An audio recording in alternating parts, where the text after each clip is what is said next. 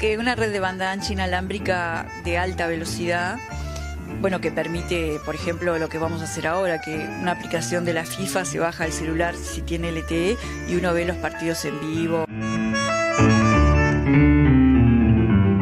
Sí, hicimos un acuerdo con la FIFA mediante el cual nuestros clientes de cuarta generación celular eh, pueden bajar la aplicación sin costo y pueden usarla sin costo. Nosotros además le estamos dando un bono de 100 gigas durante dos meses.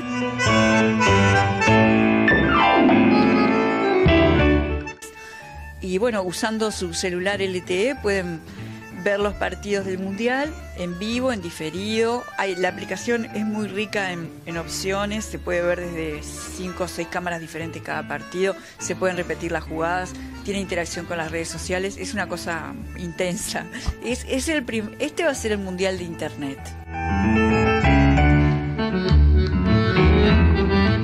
porque una de las cuestiones determinantes en nuestra negociación con la FIFA fue que teníamos una red de cuarta generación LTE de muy buena calidad, que es lo que permite ver estos partidos en HD, porque si no, no se le saca jugo a todas las facilidades de la aplicación.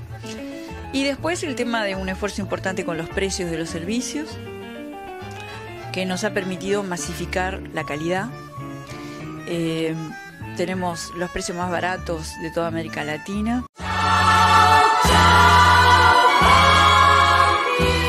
se abre la infraestructura de fibra respondiendo a la falta de inversión, que no es el caso de Uruguay, o a la falta de cobertura, que tampoco es el caso de Uruguay, donde ya el 78% de las conexiones a Internet son de fibra.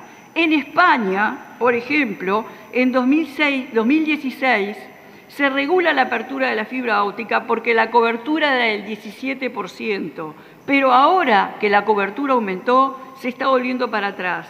De hecho, toda Europa en esta pandemia entiende que no es el mercado el que resuelve las cosas y se está trabajando ahora en Bruselas la aprobación de una norma que permitirá a los estados en el capital de sus compañías.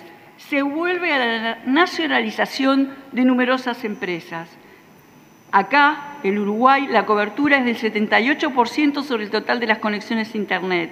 Por lo tanto, lo que estaríamos haciendo es obligar a Antel a abrir la infraestructura que ella misma construyó y desplegó para lograr una cobertura récord a nivel mundial para competir consigo misma. ¿Es eso un estímulo a la inversión?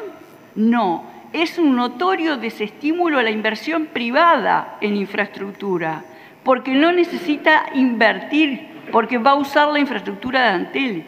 Y es un desestímulo a la inversión pública. Y por supuesto, vamos a poner un ejemplo. Supongamos que una persona se compra un taxi, lo paga con gran esfuerzo, paga la patente, paga el seguro, lo mantiene, lo trabaja. Y un día viene alguien y le dice, bueno, bájate, me subo yo y lo voy a usar como si fuera mío y le dice al dueño, y voy a pagar los precios que marca otro. Es incomprensible.